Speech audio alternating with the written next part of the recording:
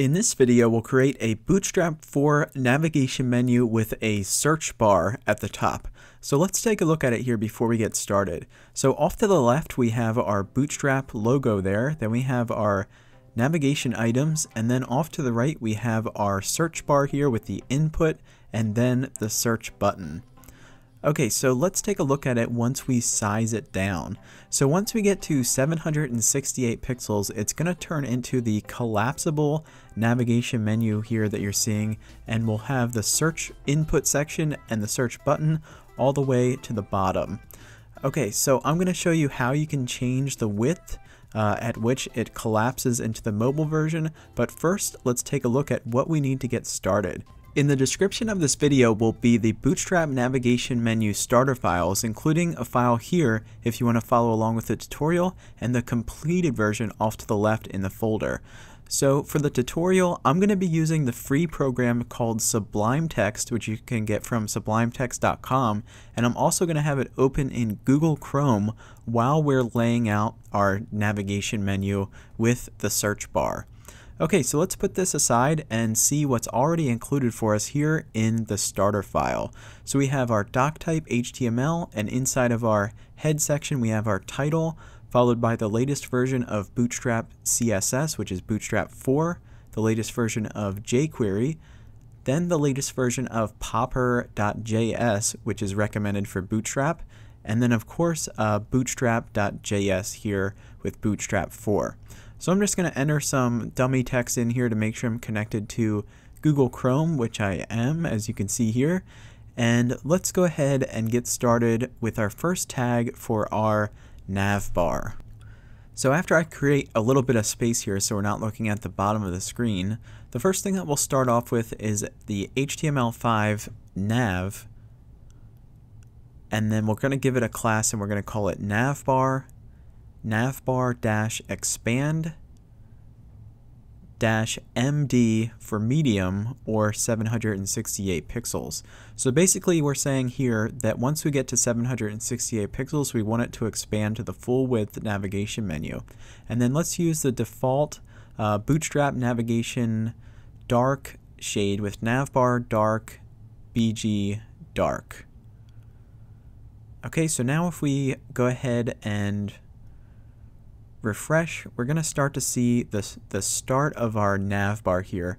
So next, let's add our bootstrap text off to the left. So this is basically our logo section. So we'll say a class navbar dash brand, and then we'll add our link. So href, you can use a blank link here with a hashtag or do index.html, and then write bootstrap here, or you can add your logo image. So now if we refresh, there we have our bootstrap text, but it's not showing as the white version. So I missed something already. Okay, so navbar dash dark. I missed the K in dark right here. Okay, so now we have it displaying as the original. And let's move on to our icon next. So we'll say button class. Navbar dash toggler.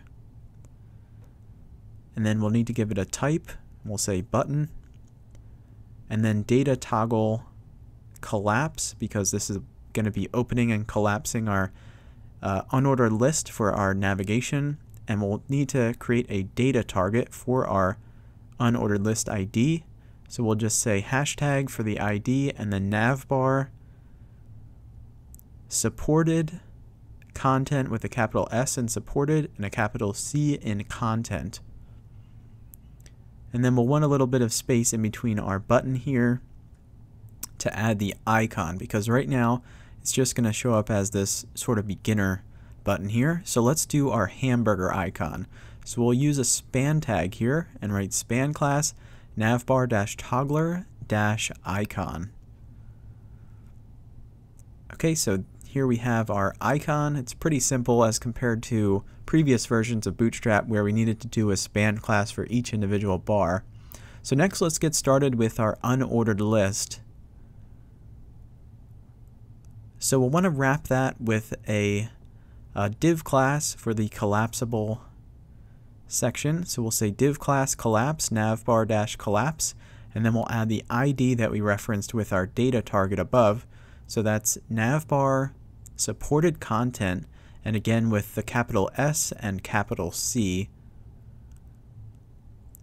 Okay, then we can drop down and close out the div and start our unordered list for our list item links. So UL class navbar dash nav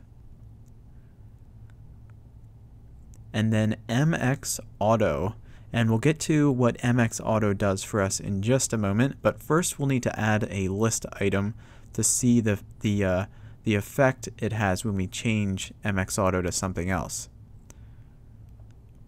So let's go ahead and add the first uh, navigation link here. So we'll say li class nav dash item active. You always want your first one to be active.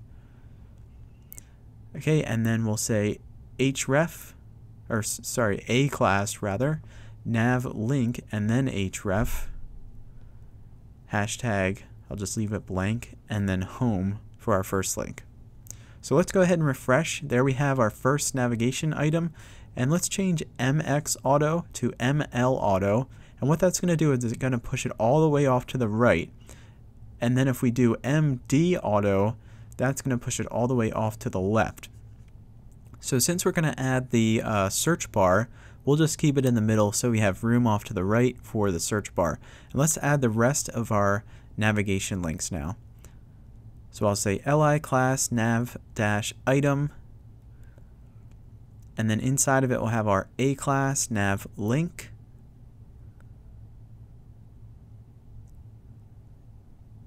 and then href and I'll leave it blank again and then our second one is about and then we'll close out our list item now if we refresh there we have our about link and next we need services and contacts. So to save us some time, I'm just going to paste this same li class nav item twice. And then all we need to change is the about text to services and contact. Okay, so there we have all four of our navigation items and it's uh, expanding at 768 pixels. So next let's go ahead and add our search bar. So we'll drop down underneath our unordered list and we'll start with the HTML uh, form tag and we'll say form class form dash line and then drop down and close out the form tag and inside of that we'll start with our uh, input section where it says search and then we'll add our button. So we'll use the input tag and say input class form dash control and mr dash sm dash 2 to add some spacing off to the right of our uh, input and then uh, type search and placeholder. You can write what you want here but I'll just keep it at search. Okay and then lastly we'll say aria dash label equals search. Okay, so now if we go and refresh, there we have our input section and we're ready to add the search button to the right of it. So we'll use the button tag and we'll want to give it a class. So we'll say btn btn-light and my-sm-0 for our spacing. And then type submit and in between our button tag, we'll just need to write uh, search or whatever you want your button to say.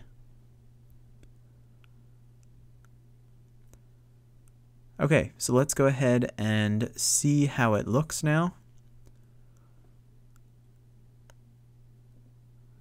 So if we refresh, there we have it, but the button isn't appearing on the same line, so I must have missed something here. Okay, so for our form class, we'll actually want it to be uh, form dash inline rather than just form dash line. Alright, so upon refreshing, that looks good, just like the original, and if we collapse it here. It's looking pretty good. Okay, so that does it. I want to thank you for sticking around with me. Please remember to like this video, subscribe, and turn on your notifications. Then I'll see you in the next video. Thanks for watching.